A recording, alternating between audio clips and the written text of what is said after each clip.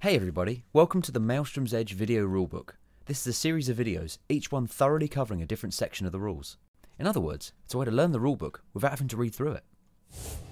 As you can see, we've set up a small example game in progress here, with the Epirian Foundation forces over here on the left, facing off against the Karist Enclave on the right. The forces are probably a little bit closer than they would be in an actual game, but that's just so they fit all on camera. One important thing to mention before we get started on the rules proper is that throughout the entire video rulebook series, we'll often be referring to the Epirian Foundation player as Danielle and the Karist Enclave player as Matt. That's just because it's easier to say Matt and Danielle than it is to say Karist player and Epirian player over and over again. In these next few videos, we'll be examining what the overall structure of a turn in Maelstrom's Edge looks like. Not so much the moving and the shooting of the models, but everything else besides that.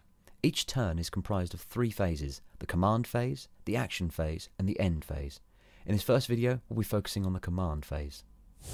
The command phase starts out with a roll for priority, which is both players rolling off against each other with the winner choosing who will be the priority player for the turn. Let's go ahead and roll a black die for the Epirians here. Danielle got a 3. And then for the Karists, Matt got a 5. So Matt won the roll for priority, but that actually doesn't automatically make him the priority player. Instead, he gets to choose who will be the priority player. Being the priority player means you always go first, whenever both players would act at the same time, including getting to activate the first unit of the turn. But it's not always a good thing to have the first activation, because sometimes you want to see what the opponent is going to do first, which means sometimes you want to give the priority player to the opponent, which is exactly what Matt decides to do here.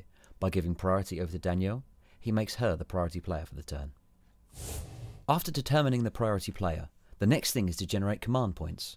Command points are like a currency that players can use mainly to reduce suppression on their units, or to try to bring back destroyed units as a reinforcement. You generate a number of command points equal to the current turn. So on turn 1, you generate 1 command point, turn 2, 2 command points, and so on and so forth.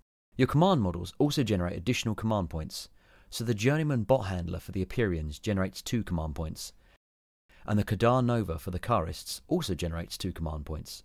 For our little example game, we're going to say that it's currently turn 2, which means both players are going to be earning 4 command points. We're also going to say that Matt had 1 command point left over from the previous turn. Plus generating 4 more gives him 5 total. Danielle also generates 4 of her own. These form a player's command point pool and aren't actually assigned onto models on the table just yet. Next up, it's time to declare reserves and reinforcements. You have the option to not deploy all of your units on the table at the start of the game. Instead, you can hold stuff in reserve and bring it on in any turn, including the very first turn if you want. But during the command phase of that turn, you have to declare which of your reserve units are going to be arriving onto the table that turn. If both players have reserves they want to bring on, then the priority player has to declare the reserves first. Also during this step, if either player wants to try to bring back one of their units that was previously destroyed as a reinforcement, they can also declare that as well. Note you can only try to bring back one unit per turn as a reinforcement, and you can only bring back any given unit once per game, so once a unit gets destroyed a second time, it can't come back. In our example game, we're saying that Matt has lost his Tempest Elites, a really powerful unit, in the first turn. Danielle focused everything she had at them and blew them off the table. Naturally, Matt really, really wants them back, while Danielle definitely doesn't want that to happen. The way you go about bringing back a reinforcement unit is by bidding command points for it.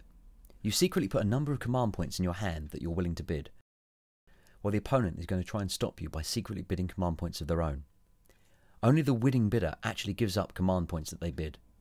The player trying to get their unit back has to beat the opposing player's bid, while the player trying to stop the reinforcement merely has to tie in order to win. In this case, Matt really wants to get his Tempest back, so he's going to secretly bid all five of his command points in his hand. Meanwhile, Danielle knows she can't stop him if he bids all of his command points, but she wants to make sure he pays the full price for them, so she's also going to bid all four of hers. And they both reveal at the same time to find out that Matt bid five, so he wins. All five of his command points are expended, and Danielle gets to keep her four command points. So although the Tempest will be coming back, she at least keeps some command points she'll be able to use to reduce suppression on her units. And the last step of the command phase is to allocate any command points that you have. So if you have any command points left over in your pool, you can allocate those onto models with a command ability that are on the table. In this case, Danielle has two command models, the Journeyman Bot Handler and the regular Apprentice Bot Handler. You can allocate a number of command points onto a model up to its willpower characteristic. Danielle puts 3 onto the journeyman and 1 onto the apprentice. The apprentice is only able to use it to reduce suppression on his own unit, but since they have 2 suppression, he'll be able to reduce one of those. The journeyman is able to affect a radius, so when other units nearby activate, he's able to use his command points to reduce their suppression, which will be useful for Danielle. And that's the end of the command phase. Thanks for watching, and make sure to check out our next video where we'll continue to break down the turn overview, this time focusing on the action phase.